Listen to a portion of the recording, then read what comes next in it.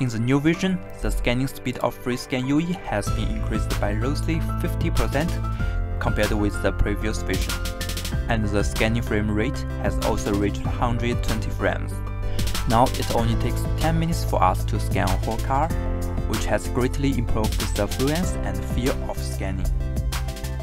This version 1.2 offers FreeScan UE supports two kinds of markers, 6mm and 3mm diameter markers. For example, when scanning some smaller objects or objects whose surface is not suitable for sticking large markers, it can be applied to 3mm markers. In addition, the two markers can be used and recognized together, which also improves the experience of FreeScan UE. In the new version, we have greatly improved the single-line scanning of FreeScan UE. Now it will be easier to scan deep holes and some difficult to scan areas with single line.